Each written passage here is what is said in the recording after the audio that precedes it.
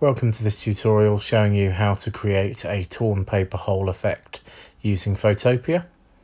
And you'll see I've already opened a photograph of myself along with a picture of a lizard's eye and I found on Google a torn paper hole but I had to use the polygonal lasso tool to cut around the outside of the hole and delete the background and cut around the inside and delete the inside too. So I'm left with just the paper.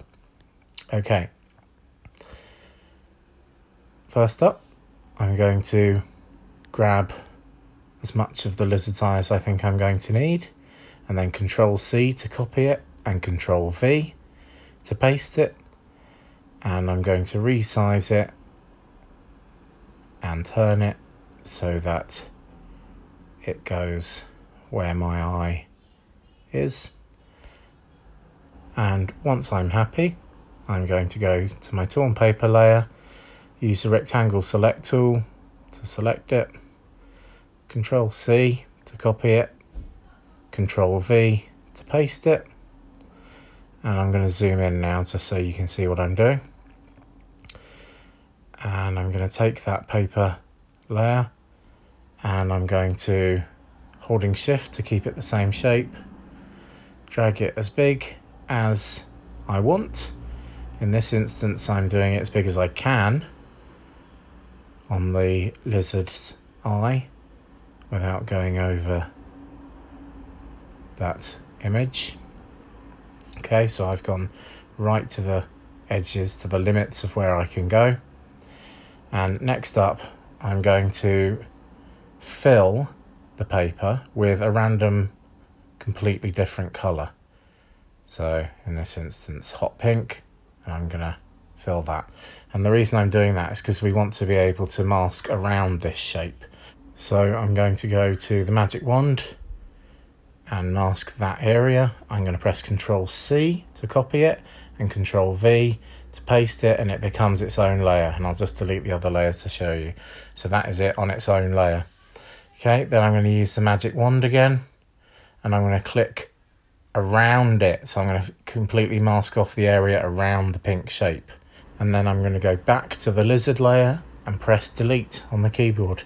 And that's going to delete all the lizard image outside of that pink area.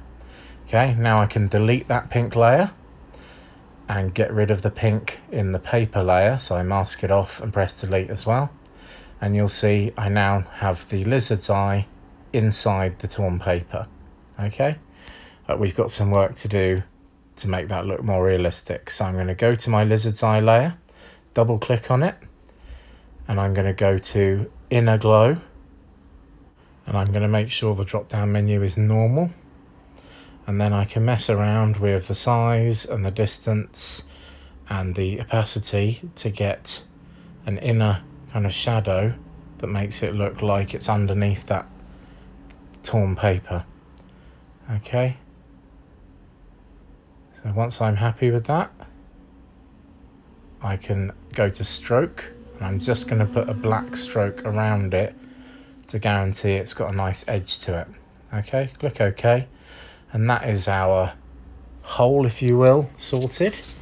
Now we're going to go to the paper layer, double click on that and we're going to go to drop shadow and you'll see it drops a nice shadow but I want that shadow to be going downwards in this image. So I'm going to turn the compass around so that it's pointing upwards so the shadow goes down. And then you can again mess around with size, distance, opacity to get whatever shadow effect you want. Okay, and click OK.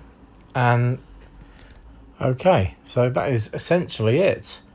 I now have a torn paper hole, um, but I want to do some tweaks. So I'm going to, on the paper layer, just go image adjustments, brightness, contrast. And I'm just going to bring the brightness down to make the shadows on the um, paper stand out a bit more. And I'm going to go to my lizard layer and again brightness and contrast I'm just going to bring the brightness up and the contrast down just to make that eye a little bit lighter so it pops a bit more okay And that is the end of this tutorial. I hope it helps.